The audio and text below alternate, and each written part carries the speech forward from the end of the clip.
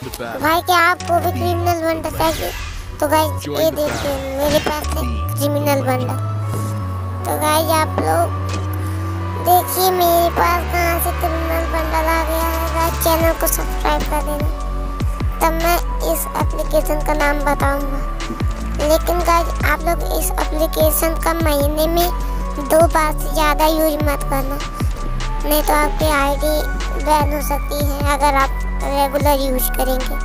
तो भाई अगर आप लोग कोई यूट्यूबर हैं, तब आपके लिए एप्लीकेशन सही है। नहीं तो आप क्यों वैसे खेलेंगे?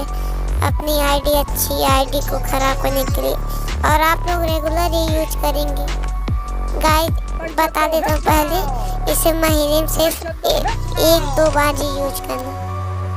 नहीं तो आपकी आईडी भी जा सकती है। अगर आप रोज यूज़ करेंगे।